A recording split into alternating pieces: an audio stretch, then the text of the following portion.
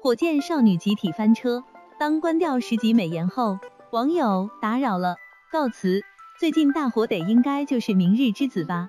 而且在去年的时候还有两个综艺节目很火，那就是《偶像练习生》和《创造一零一》。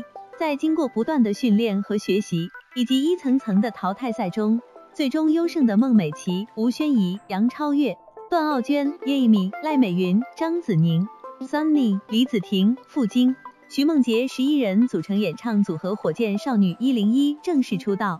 从创造一零一节目出道以来，这十一位少女可就一直都备受关注。毕竟是作为鹅厂的第一批艺人出道的，可能大家应该都会感觉到了吧？虽然已经过去了一年的时间了，可是火箭少女们的关注度真是一点不弱的。